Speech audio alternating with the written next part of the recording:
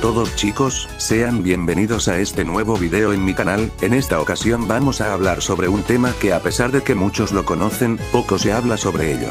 Así que empecemos.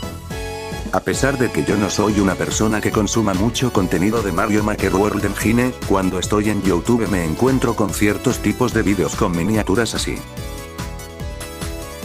La cuestión está en que al entrar al video te das cuenta de que es un modo solo es una edición chafa de video, ¿no es verdad? SK Gaming. Coz a pesar de que es cierto que cualquiera puede subir el contenido que desee, creo que el engañar así a los usuarios no es correcto, al final ganarás visitas fáciles, suscriptores, pero, con una pésima reputación y cuando trates de cambiar de contenido, ya no podrás más, porque no tendrás apoyo, porque tus visitas se basan en mentiras y engaños. Creo que nadie quiere eso, ¿verdad? Y fácil pudiéramos decir, es culpa de la comunidad por consumir ese contenido. Y. En parte es cierto, pero también hay muchos usuarios que apenas descubren el proyecto e ignorantes de estos engaños entran a esos vídeos y bueno, lo demás ya lo sabemos.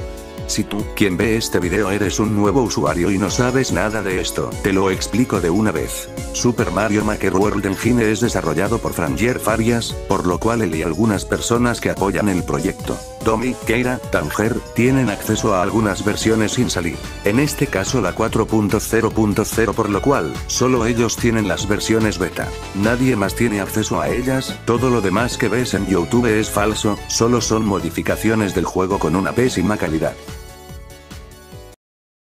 Ahora bien, hablando de las cosas oficiales, hay otro tema que también me incomoda bastante. Y es que muchos acostumbran a resubir el contenido de Franger, Tony Keira, cuando sale un nuevo avance he visto que muchos suben el mismo video a YouTube, a veces con una pequeña edición y otras veces lo suben así como tal. El problema aquí es que si quieren que su comunidad de YouTube se entere de las novedades. ¿No es más fácil enviarlos al canal de Franger? Porque la necesidad de resubir el contenido, con títulos de Novedades de SMUE 4.0.0, Avances de SMUE 4.0.0. Simplemente no entiendo la razón de hacerlo más que por visitas. Y el problema de todo esto viene en que el hacer estas prácticas, afectan al youtuber que crea ese contenido originalmente. Y aunque él con todo el derecho puede solicitar retirar el video, no lo hace porque al final, la persona se va a quejar porque injustamente le retiraron el video. Y aunque lo mínimo que podemos hacer si usamos su contenido es darle créditos, estos youtubers siempre dejan los créditos en la descripción, ¿no? ¿No? En fin. Si tú ves contenido de Smue así, te recomiendo evitar aunque sea por curiosidad, ver estos vídeos, entre más visitas tenga, el video estará en los primeros resultados de búsqueda y así estos usuarios seguirán con estas malas prácticas.